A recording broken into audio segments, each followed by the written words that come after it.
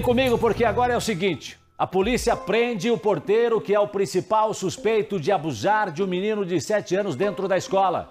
Você está acompanhando essa história aqui no Balanço Geral. Desde o início, com Nader Khalil, é um caso que deixou o estado inteiro em choque. Mas ainda, a pacata cidade de Munhoz de Melo, no interior do Paraná, tem pouco mais de 3 mil habitantes. É claro que está ainda muito mais chocada com tudo que ouviu e viu. É uma cidade pequena, todo mundo se conhece. Nader Kalil, como é que foi essa prisão ontem, ontem, ontem, né? Nós conversamos ainda com a advogada de defesa desse porteiro e tal. Ela queria, falava que estava com dificuldades de ter acesso ao processo e tal, tudo mais. Mas agora a prisão que é a novidade. O que mais que a gente tem aí, Nader Kalil? Uma boa tarde para você. Mais uma vez, seja bem-vindo ao nosso BG. Tarde, Jason. Boa tarde, doutora Márcia. A todos que nos acompanham essa enorme audiência do Balanço Geral. E, Jason, se me permite plagiar as suas palavras na abertura do Balanço Geral de hoje.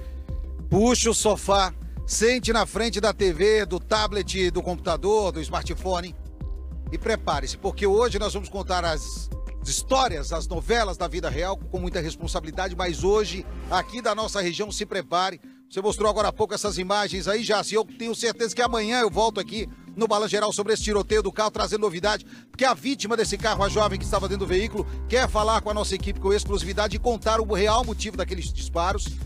Depois eu conto mais sobre isso com você. Tem uma história absurda que ontem nos chegou também de um abuso de uma criança de 10 anos por um homem de 68 anos de idade, que eu vou falar daqui a pouco. Um vídeo desse homem confessando que chegou às nossas mãos, a equipe da RIC TV aqui, que mais uma vez denuncia uma história como essa. Mas em relação a essa criança de 7 anos, depois de muito se falar, protestos feitos após a nossa participação com você lá em Munhoz de Melo, anteontem, a comunidade se reuniu pedindo a prisão desse homem e na tarde de ontem, em um município, Santa Inês, próximo à divisa com o estado de São Paulo, cerca de 120 quilômetros aqui de Maringá, esse homem acusado desse crime bárbaro se entregou ao delegado responsável pelas investigações.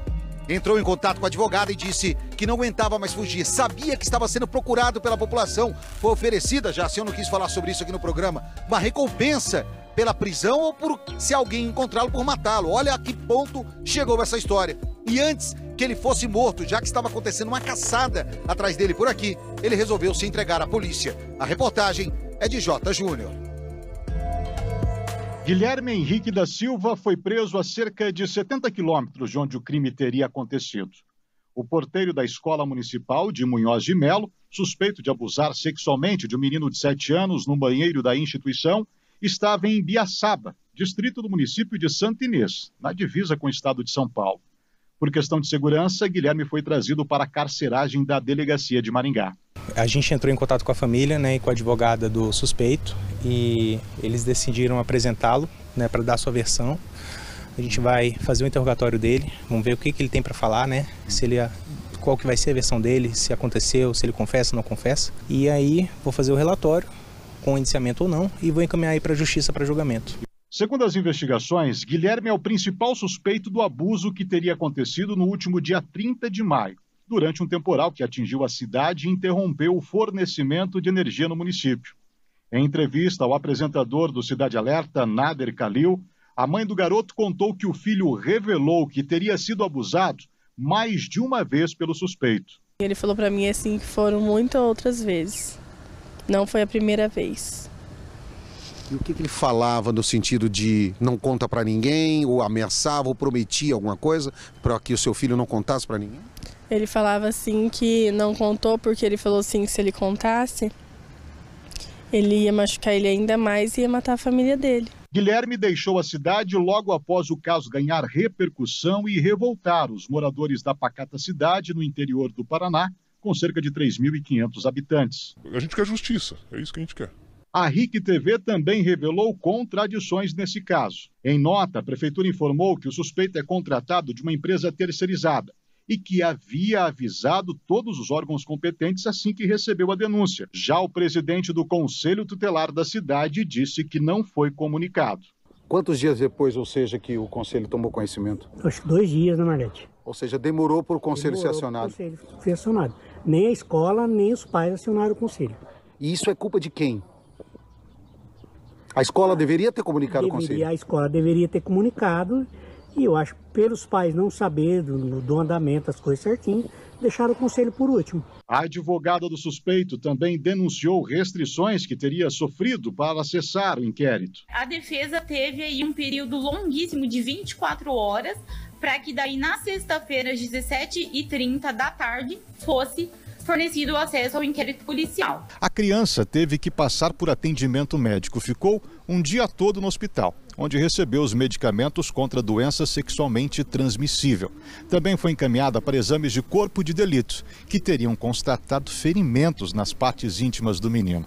Depois disso, ainda foi ouvida por uma psicóloga. E segundo informações repassadas pelos pais da criança, a equipe da RIC TV, o laudo da profissional confirmou a versão apresentada pela criança e reforçou que em nenhum momento ela entrou em contradição ao falar sobre os abusos. Guilherme teve a prisão decretada três dias depois do caso descoberto. A polícia tem dez dias para encerrar o inquérito. O caso está em segredo de justiça. O delegado afirmou que continua em busca de novas provas e que as imagens das câmeras de segurança da escola que podem revelar detalhes importantes já foram entregues à polícia. Naquele momento que teve a queda da energia, algumas câmeras não funcionaram. Então a gente vai fazer essa análise, né? Não necessariamente ela vai ser conclusiva, mas diante de tudo que a gente tem, foi necessário, assim, até pela própria segurança do, do suspeito, pedir essa prisão temporária para a gente assegurar a investigação. Bom, é um caso estarrecedor, pavoroso, né? Horrível, terrível. Faltam adjetivos tanto para dizer o que, que significa isso. Essa criança de 7 anos, ferida por dentro e por fora. Né? No sentimento, no físico, no emocional, com tudo que ela viveu. E o laudo comprova isso. Agora esse homem estará, ficará preso, já está aí em Maringá, já está aí na região. É, é, quanto tempo deve ficar preso, ou Nader Calil? Então, Jason, a prisão dele começou a contar a partir de ontem de 30 dias. Mas o delegado não descarta a, possibilidade de, junto com o Ministério Público, derrubar essa temporária aí e botar ela por prazo indeterminado, manter o preso, já que a segurança desse homem agora é uma questão de vida ou morte. Porque na rua ele pode ser morto, como eu te falei. Existe uma recompensa para a cabeça dele aqui na região. Você ter uma ideia, na última segunda-feira, na terça-feira, ah, várias pessoas, né, várias denúncias chegaram, pessoal de moto criaram grupos em redes sociais percorrendo cidades da região a caça desse homem. População querendo fazer justiça com as próprias mãos. E ele sabia disso, a advogada sabia disso por isso. Você se lembra que a advogada disse que ela estava se sentindo é, cesseada de não ter o seu direito como advogada de ter acesso todo o inquérito policial. E realmente isso aconteceu. A juíza não liberou para ela todo o conteúdo para que ela não tentasse desqualificar as provas que foram colocadas até agora. Mas um detalhe importante disso, Jason, é que a partir da prisão desse homem, novos casos podem acontecer. Falei com a mãe dela, dessa criança ontem à noite no programa, no Cidade Alerta aqui na região, e a mãe se sentindo aliviada, agradeceu muito a gente, mas agora pediu para que outras famílias denunciem, porque essa criança pode não ter sido a única vítima desse homem. Reitero, um porteiro de uma escola, a esposa psicóloga do município, o sogro dele trabalha no cemitério no município, um município de 3 mil habitantes, onde todo mundo se conhece. Aquele dia eu não quis mostrar, Gerson, mas ele morava duas casas à frente do conselho tutelar. Tem noção disso? Então, isso só demonstra a que ponto a nossa sociedade está doente. Mas agora a gente espera que com a prisão dele outras denúncias apareçam.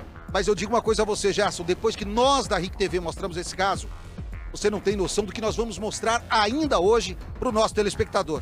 É ainda mais nojento, mais perplexo, mais revoltante e que exige que a gente lute junto com a sociedade por mudança nas nossas leis. E daqui a pouco a gente fala por quê, mas vai revoltar todo mundo que nós vamos mostrar hoje no Balan Geral.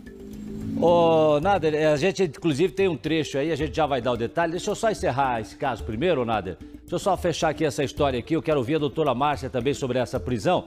Eu preciso só, só dessa informação. Você falou que há, há uma recompensa, ou havia uma recompensa pela captura do porteiro. É, quem que se mobilizou nesse sentido dessa recompensa, Nader? A família, por parte do pai do rapaz, amigos do município, como eu falei para você, é um município de apenas 3 mil habitantes. E a história chocou a todos. Então, já na segunda-feira, Jason, quando a gente teve no município, conversou com o Conselho Tutelar, conversou com o secretário de Assistência Social do município, falamos com o pai, depois da invasão à casa da família, a partir daí eles começaram a mobilizar, pedindo uma manifestação que aconteceu no final da tarde, já na segunda-feira, e a partir daí começaram a divulgar nas redes sociais uma recompensa pela o endereço onde ele estava para entregar à polícia e aí até mesmo se encontrá-los para matá-lo a recompensa, um valor de mais de 20 mil reais, não precisava se identificar. Ou seja, a população já está cansada. Há muita gente, eu estava acompanhando no nosso YouTube aqui quando você falava, o pessoal pedindo castração química para esse tipo de abuso, pedindo para que a prisão acontecesse imediatamente após uma denúncia, para que não esperasse essa coisa do flagrante. A gente vai falar disso daqui a pouco, a doutora Márcia vai explicar melhor para a gente. Mas a sociedade não aguenta mais. Agora, o que fazer diante desses abusos a crianças e adolescentes? No último dia 8 de maio, foi o Dia Nacional de Combate ao Abuso Infantil, à exploração e, a, principalmente, a exploração sexual. Mas a sociedade parece estar doente diante disso, Jasso. Porque é inadmissível uma criança de 7 anos em uma escola ter sido abusada. E agora, Jasso, posso falar? Não resta mais a mínima dúvida de que isso aconteceu dentro da instituição de ensino. Pois é, doutora Márcia, parece que acho que é para a segurança do próprio porteiro, é melhor que ele continue preso. Não se faz justiciamento, gente. Não se pode fazer isso. Não se deve fazer isso. É contra as leis, né? Agora, havia aí essa, essa recompensa para que fosse indicado onde ele está, para que a polícia pudesse fazer a prisão. Eu acho que ele está mais seguro dentro da cadeia hoje, hein? É, mas de fato não, não é por esse motivo que ele tem que ficar na cadeia. Ele tem que ficar na cadeia por quê? Porque ele corre o risco, sim, até por se sentir ameaçado, de fugir a qualquer tempo e aí fugindo tanto dessas pessoas que ele se sente ameaçado, também fugir da ação da, da, da justiça. Então, sim, nós temos uma prisão temporária que assegura o inquérito policial, ou seja, as provas desse inquérito, mas ela pode ser convertida numa prisão preventiva, até porque ele corre o risco de fugir, né? Ô, Nadir, e essa história do vovô tarado aí que abusou da menina de 10 anos? Rapaz, estou aqui em Paysandu, município a cerca de 7 quilômetros, 9 quilômetros de Maringá, onde ontem já, quando mostrávamos no Cidade Alerta a prisão desse abusador, desse homem agora que está atrás das grades, acusado desse crime bárbaro contra esse menino de apenas 7 anos, chega uma denúncia à nossa equipe. Um homem de 68 anos estaria abusando de uma criança de apenas 10 anos. Nós falamos com a comunidade para que eles pudessem tentar gravá-lo para que essa prova pudesse ser levada à polícia e ser denunciado. Foi o que aconteceu. Você vai ver agora um trecho do vídeo gravado por, eh, pela comunidade ali onde isso aconteceu e daqui a pouco eu explico melhor toda essa história. Mas veja só, ele assumindo para a comunidade, para que a comunidade mandasse o vídeo para a gente, para a gente denunciar. Ele assumindo que abusou dessa menina, que fez atos em que eu não posso nem falar e obrigou a menina a fazer com ele. 68 anos de idade. Roda um trecho aí pra gente. Ele vai falar, espera que ele vai falar. Tá foi duas vezes só. Tá, e o que, que o senhor fez? Só, foi duas vezes só. E o que o senhor fez? Só. E o que mais que o senhor fez? O senhor não fez mais nada? Não. Daqui a pouco, então, a gente traz essa história, né? O Nader daqui a pouco traz essa reportagem completa pra gente aqui no Balanço Geral. Obrigado por enquanto, Nader Calil falando ao vivo com a gente direto de Maringá.